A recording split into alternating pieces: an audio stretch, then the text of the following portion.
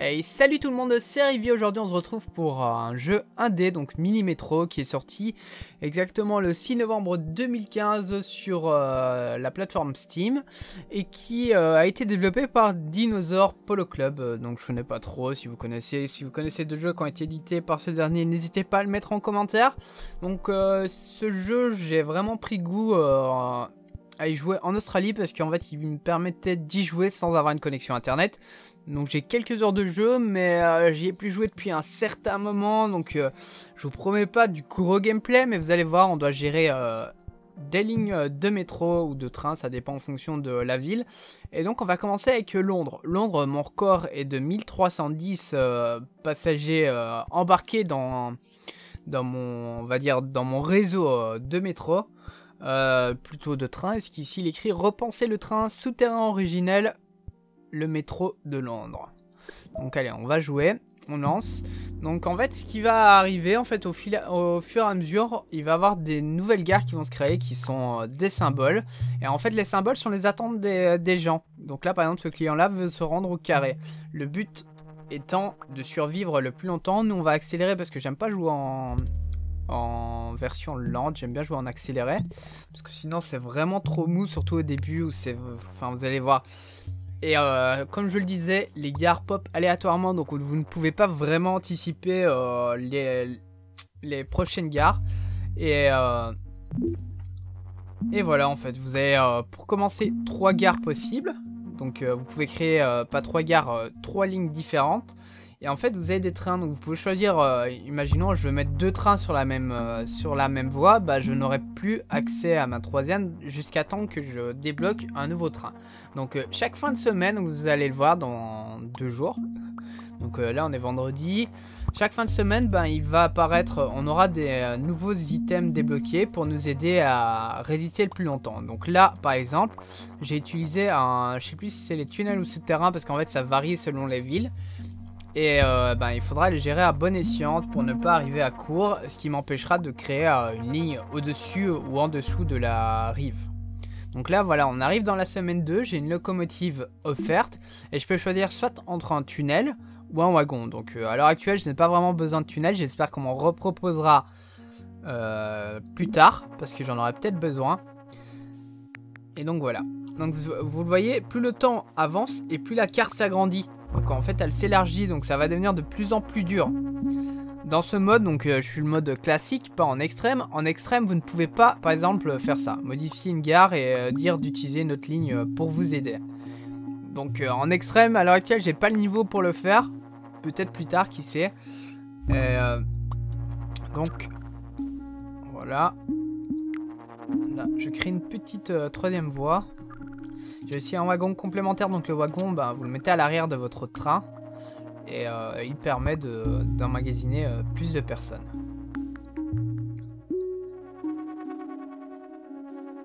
Donc 1310, je pense pas qu'on y arrivera parce que j'ai vraiment très peu de, temps de jeu là depuis que je suis revenu en Belgique.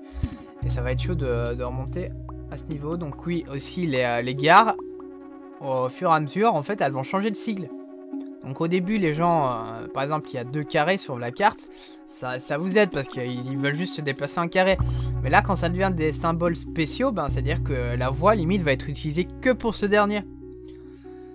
Donc c'est là où ça devient plus ou moins tactique. Donc le point d'échange permet en fait euh, de transférer les gens plus rapidement, euh, enfin les faire évacuer du train plus rapidement. Si je ne m'abuse. Donc euh, pourquoi jouer en accéléré? Parce que vous le voyez au début c'est très mou. Ça, ça permet d'avoir des nouvelles guerres qui pop plus rapidement. Et puis je suis quelqu'un d'impatient en fait. Euh, peut-être que c'est plus simple si je jouerais en mode... Euh, si plutôt si je jouais en mode normal. Enfin en vitesse de jeu là. dont je parle. Mais bon c'est... au début c'est vraiment tellement mou que c'est ennuyeux. Donc vous voyez j'aime bien le, le, fond sonore. ça prend pas la tête, ça relaxe. Et lorsque vous êtes en en déficit, on va dire, parce qu'en fait le but c'est de ne jamais avoir une longue file d'attente dans votre gare, sinon vous perdez. Et eh ben il y a une sorte de petit, euh, de petit sifflement, mais euh, un petit bourdonnement qui n'attaque pas. Écoutez. Donc là par exemple euh, c'est le bruit du train pour dire que ben voilà il y a trop de fils, t'as intérêt à gérer correctement ta ligne, sinon ça va mal se passer. là, je vais rajouter un wagon sur le bleu.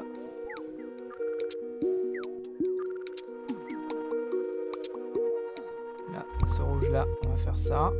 On va créer un nouveau euh, wagon, on va faire ça.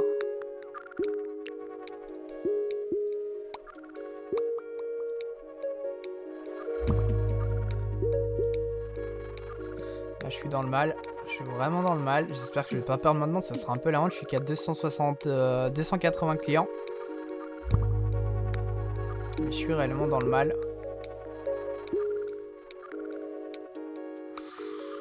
J'ai de la chance. Hein. C'est joué à rien.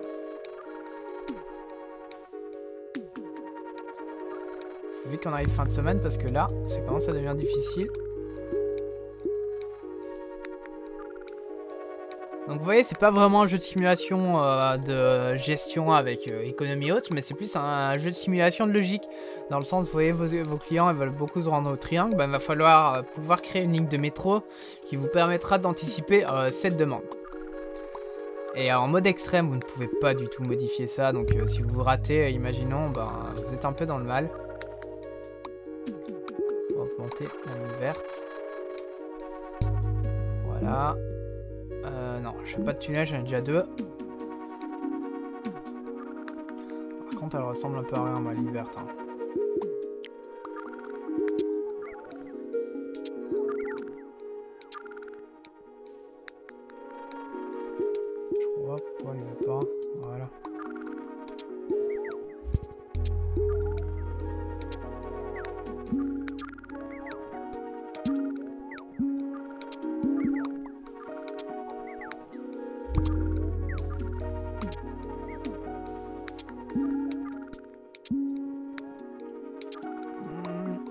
Dans le mal, j'ai plus de train, j'ai plus rien et je peux pas anticiper euh, la demande. Je pense que ça va se terminer sur ça. J'espère que non, ça serait triste. Non Non Bon bah c'est fini.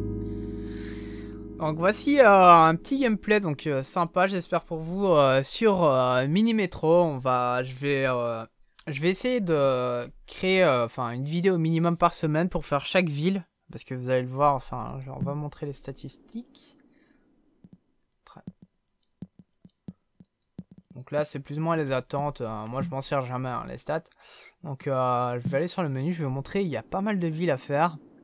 Euh, là, je viens de faire. j'ai pas fait attention. j'ai pas fait attention de mon score. Je, vais l'inscrire dans la description. Dites-moi quel est votre meilleur score? Mon meilleur score, moi, est 1310 sur Londres. Et donc, regardez.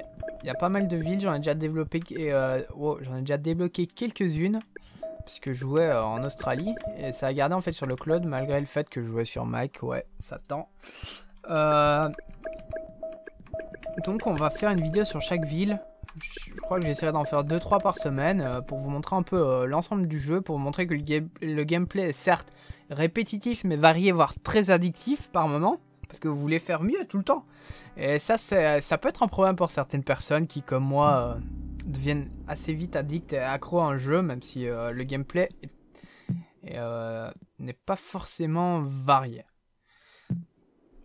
donc je vais vous montrer aussi voilà, c'est sur le menu principal.